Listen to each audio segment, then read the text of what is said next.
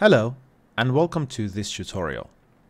As you're aware, unfortunately because of the coronavirus outbreak, we've decided to take all of our classes online so that we can stay safe at home but also follow with our lessons. In this tutorial, I'm going to teach you how you can download Unreal Engine 4 so we can continue with our projects. First, you need to go online. You can use Google Chrome, Firefox, Safari, or any browser that you use um, to go online and use the internet. I'm going to go ahead and open up uh, Google Chrome on my computer. Next, in Google, you want to search for Unreal Engine. Press enter. You will notice the first website says unrealengine.com. Go ahead and click on that link. Once you're in the Unreal Engine website, on the top right of the screen, you will see there's a big blue button that says download. Go ahead and click on that. It'll then direct you to this page where it asks you to choose a license. For the sake of our video tutorials, it really doesn't matter whether you go with a publishing license or a creator's license. Um, publishing license means that as soon as you create something, uh, if you want to sell it, you're allowed to do that. Um, creator's license means um, what you create you won't be able to sell. Um, either way, neither of these makes any difference to our workflow. Um, if you think that it's only for education and you only want to use it to learn, then you can use uh, the students and educators web, um, sort of license, which is a creator's license. Or if you think that maybe in the future I'm going to create something to sell, you can go with the publishing license. Personally, I'm going to go with publishing license because um, I create things to sell online. Either way is free of charge. There's absolutely uh, no cost involved. Um, the only thing about publishing license is once you start selling your products, uh, Unreal or Epic, they will take 5% of your earnings um, for your any games you might make or um, any money you might make from selling those games. So uh, publishing license is completely free creator's license is completely free. Uh, you can see that it says get started for free here and it also says free to use on this side. So whichever one you use, it makes absolutely no difference for our um, tutorials or our lessons. Both of these will work absolutely fine. I'm going to go with publishing license because I often create things to sell later on. But if you just want to use it to learn, you can go ahead and choose um, the creator's license. Once you click on that button, it'll ask you to log in. Um, then it will bring you to this page where you can go ahead and uh, log into your Epic's account. If you don't have an Epic's account, that's not a problem at all. Down here it says, don't have an Epic Games account, sign up.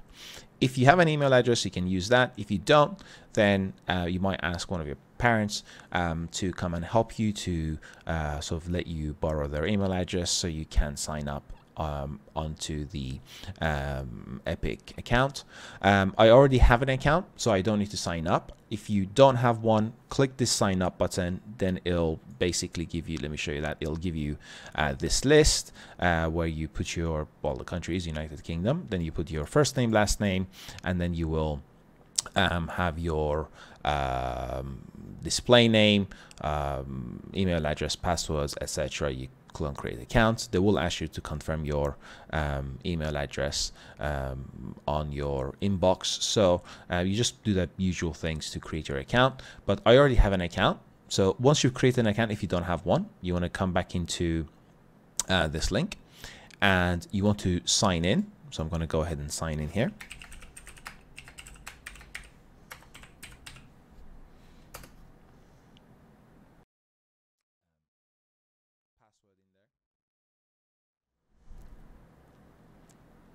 As soon as you have logged in, you will notice that on the um, on your Google Chrome or any browser you're downloading, uh, you're using, it will download your um, file for you. So um, once it has downloaded this tiny little program onto your computer, go ahead and click on it. Then you want to click on install and message might pop up. So you might want to click yes. Um, and then you will wait for it to do its thing. Um, there's going to be a sort of a few bars going to the right and it's going to do its thing. So what I'm going to do is I'm going to skip forward here until the whole thing is uh, finished. Uh, we can go ahead and uh, close our Google Chrome. We don't need that anymore. So it's just going to do a bunch of stuff um, and um, uh, we're going to fast forward this.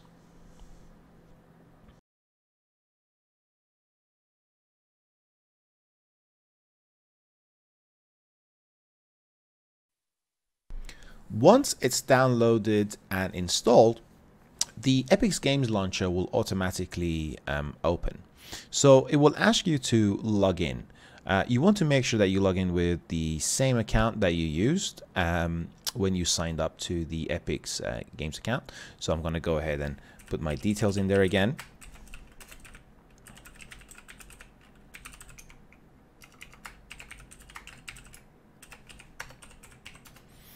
Again, it might ask me for my two-step verification. Oh, no, it didn't. Let's see. Oh, there we go. We're in. Very good. Excellent. So this is the game's Epic's launcher. Um, so, sorry, the Epic's Games Launcher. Um, so what you want to do here is you want to go ahead and download Unreal Engine. So on the left-hand side, make sure that you have the Unreal Engine menu selected. Then again, at the very top, you want to go in here and go to library first. Even though I know that there might be an install option for you at the top right, don't click on that. Uh, go to library. You can see at this stage that I already have a number of different um, uh, versions of the engine installed on my computer. Um, you will not have any of these if you've never downloaded Unreal Engine before. Um, so I'm going to show you how you can download the version we need to work with our projects. We are going to be using with 4.15, but of course you won't be seeing this on your computer. What you want to do is there's a plus sign here that says Unreal, uh, sorry, engine version. Go ahead and click on this um, orange icon, the plus sign, and it will then create this grayed out um, icon for you um, to choose from. Of course, yours, because you don't have all these um, different icons, yours will be here somewhere. Um, then you want to go ahead and click on this drop down menu that it gives to you. The versions we are using is 4.15, 4.15. Now you can notice that um, in my case, um, I don't have 4.15 because I have already installed that on my computer. But you will see that uh, for you between 4.14 and 4.16, you will have another option uh, that says 4.15. You want to go ahead and choose that. Um, just to show you how this works, I'm going to choose 4.16, but make sure you get 4.15, not 4.16. You want to get this one. This is the one that you want to have, but um, I don't have the option here because um, I am using um, I already have it installed. So yours will say 4.15. Then all you do is you click install and then it will give you this little um, window as to where you want to, where you want to save it. Then you just click on install and then it'll uh, go ahead and do its thing and it will start uh, installing it for you. Just make sure you install 4.15 because all of our projects are using 4.15. Now, Unreal Engine, uh, as you may be aware, is a um, a very popular game engine. Um, a lot of games were made using Unreal Engine, such as Borderlands, Star Wars, uh, Batman, uh, Rocket League, Fortnite. So it is a very powerful engine and it is quite big. So um, you'll just have to wait for it to install. Once it's finished installing then um, you can after that follow along with the rest of the tutorials all we all will be sending you uh, very shortly. So hopefully on your case this won't say 4.16 it must say 4.15 but just to show you how to install it I'm doing it with 4.16 because I already have 4.15 installed. Um, you just have to make sure that your computer stays on, your computer stays connected to the internet, and you just want to make sure that you wait until this um, keeps on going and finishes uh, installing. If you have any problems, get in touch with us and we will help you out to the best of our ability. Thank you very much and I'll see you in the next video.